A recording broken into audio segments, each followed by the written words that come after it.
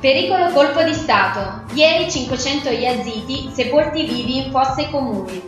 Baghdad. Precipita la situazione in Iraq. Dopo che ieri il ministro per i diritti umani al-Sudani ha comunicato la morte di circa 500 yazidi sepolti vivi in fosse comuni, oggi i disordini investono anche la politica. È scontro tra al-Maliki, capo sciita del governo, e il presidente Fuad Mussam.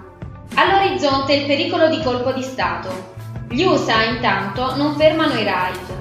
20.000 dei 40.000 intrappolati sui monti del Sinjar sotto le scude jihadista hanno così trovato una via di scampo in Siria.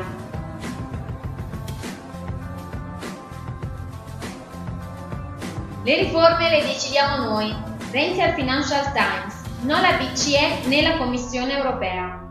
Roma, sono d'accordo con Draghi quando dice che l'Italia ha bisogno di fare le riforme, ma come le faremo lo deciderò io, non la Troica, non la BCE, non la Commissione europea.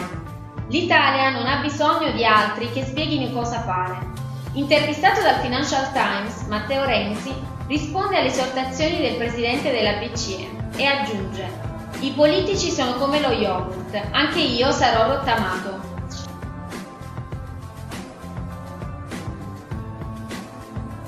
Governatore contro ministro. Rossi sfida la Lorenzin. Accoglieremo i fuori regione. Firenze.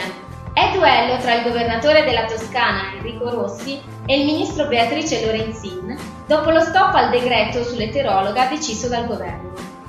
Rossi ha confermato che la Toscana andrà avanti attenendosi alla sentenza della Corte Costituzionale. La Toscana dunque accoglierà anche chi viene dal resto d'Italia, è l'unica regione ad aver adottato un atto che consente il trattamento.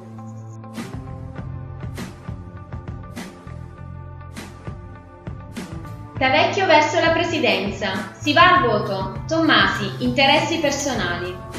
Roma. Mancano poche ore al voto e la fronda anti-Tavecchio sembra perdere colpi. Anche Atalanta, Cesena e Verona hanno comunicato il loro appoggio al candidato, considerato inadeguato per una frase definita razzista. Damiano Tommasi, presidente dell'Asso Calciatori, commenta amareggiato. Siamo da sempre contrari alla sua elezione, ma purtroppo gli interessi personali prevalgono sui progetti sportivi.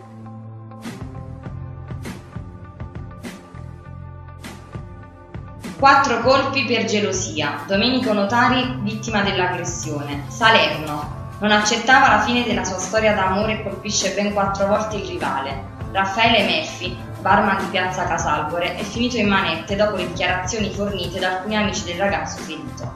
Il fatto di cronaca è avvenuto nella serata di sabato all'esterno di un noto locale salernitano. Gli agenti delle sezioni volanti e della squadra mobile della Questura di Salerno hanno arrestato Murphy, che adesso dovrà rispondere dell'accusa di tentato omicidio.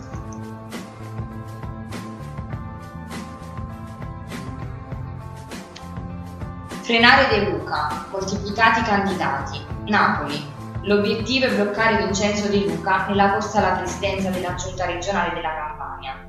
Così il Partito Democratico Campano registra la disponibilità di altri candidati.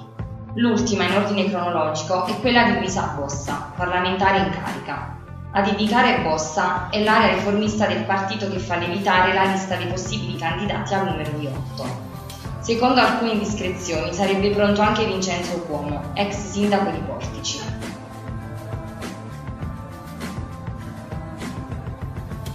Un richiamo a Renzi. Per Napoli firmano intellettuali e movimenti. Napoli. Il documento sarà consegnato nelle mani del Premier Matteo Renzi, che sarà in visita a Napoli il 14 agosto. L'obiettivo è quello di richiamare l'attenzione del governo sulla necessità di fare di Napoli una città metropolitana punto di riferimento non solo del Mezzogiorno ma dell'intero Mediterraneo. L'appello, fino a questo momento, è stato sottoscritto da 160 personalità e da oltre una ventina tra associazioni ed enti.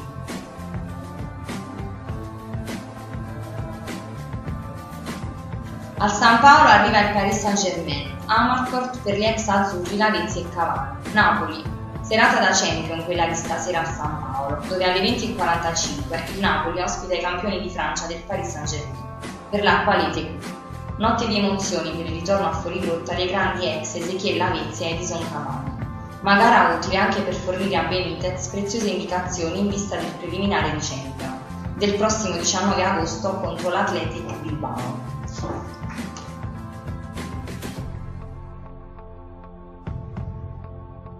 Irisbus si firma pronto l'accordo per il polo nazionale di Pullman. Flumeri si va verso lo sblocco di una questione che sta preoccupando da oltre un anno centinaia di lavoratori irpini.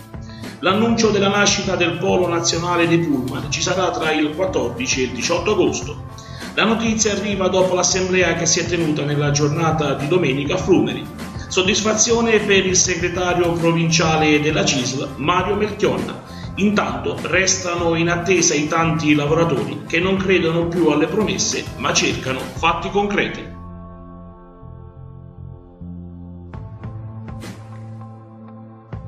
Elezioni provinciali, nuovo consiglio, tornata elettorale il 12 ottobre. Avellino, a votare saranno chiamati soltanto i consiglieri comunali e sindaci. Intanto, il 2 settembre sarà emanato dal governo Renzi un decreto che indicherà le competenze per il futuro ente di secondo livello. Fissata la durata del mandato per i consiglieri, che sarà di due anni, mentre per il presidente sarà di quattro. Palazzo Caracciolo, dopo un periodo di commissariamento, si appresta ad essere punto di riferimento per le amministrazioni locali in un nuovo disegno istituzionale.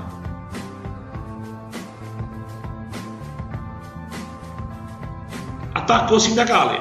Stolfa a difesa degli operai forestali altirpini. Calitri tiene ancora a banco la questione dei 150 operai a tempo determinato della comunità montana altirpinia che si sono visti stoppare le giornate lavorative dal TAR rispetto ad un ricorso di altre due lavoratrici. La discussione al Tribunale amministrativo regionale si terrà il 18 settembre, ma i sindacati già annunciano una battaglia serrata. La FILAS, Federazione Italiana Lavoratori, Ambiente e Servizi, lo fa attraverso il segretario provinciale Giuseppe Stoffa che annuncia il TAR ha deciso senza ascoltare la controparte.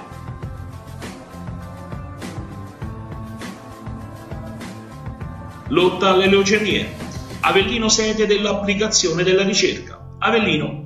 La sperimentazione sarà fatta presso l'azienda ospedaliera Moscati di Avellino e inizierà in autunno.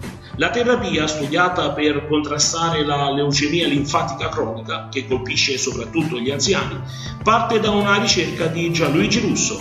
Il ricercatore del CNR di Avellino lavora con un gruppo di studiosi di New York con lo scopo di arrivare a realizzare un farmaco che possa essere somministrato in maniera efficace già nel primo periodo della malattia.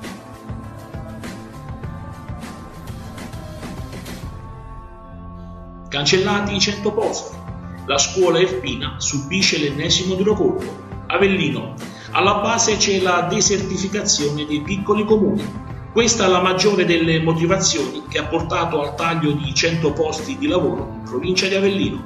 Rispetto alla notizia sono diverse le prese di posizione, ad iniziare dal segretario provinciale della Will Scuola, Antonio Doria, L'esponente sindacale punta l'indice contro la politica, responsabile di non mettere in atto soluzioni a tutela delle piccole comunità.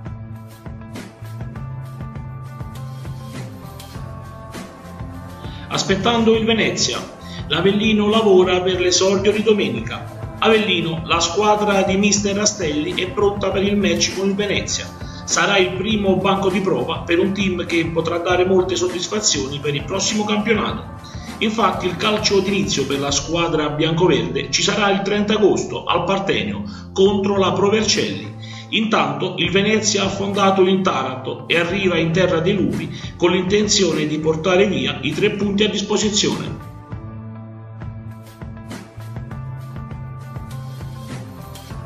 Sannita amore Cambogia, 49enne beneventano investito da una moto. Cambogia, è stato investito da una moto in Cambogia dove lavorava presso un'associazione umanitaria. La vittima è Giuseppe Cangiano, 49 anni di Benevento, che si era da tempo trasferito in Asia. Il dramma si sarebbe verificato sabato 9 agosto. La vittima era impegnata da tempo con la SOLS 24-7, un'organizzazione internazionale che mira a fornire programmi educativi gratuiti ai giovani.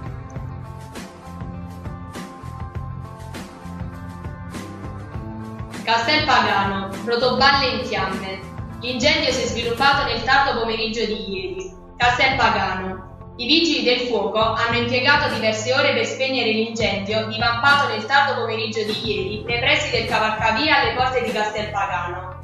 Ad andare in fiamme 50 rotoballe di paglie e fieno. Il foraggio era stato accatastato sotto il ponte della strada provinciale 62. La strada è stata chiusa per diverse ore in modo da permettere ai tecnici di operare alcune verifiche statiche.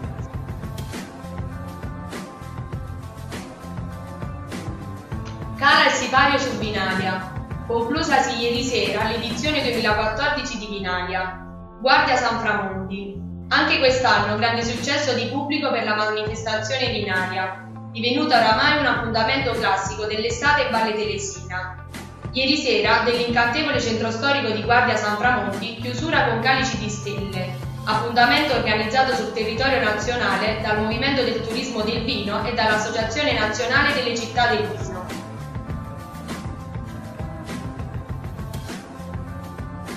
Sì, sì. Vai. Benevento, buona la prima. Superata la Correggese per 2 a 0. Benevento, la formazione sannita supera la Correggese per 2 a 0 nel primo turno di Coppa Italia. Per i giallorossi, rete di Doninelli e Padella, entrambe nella ripresa. Gli ospiti hanno giocato l'intero secondo tempo in 10 uomini per l'espulsione del centrale difensivo Bigolini. I ragazzi di Mister Brini avranno una settimana di tempo per recuperare le energie prima di tornare in campo, il prossimo 17 agosto, a Chiavari contro la Virtus Entella. Con questa notizia vi salutiamo, dandovi appuntamento a domani. Per approfondimenti collegatevi al nostro sito www.lanostravoce.info.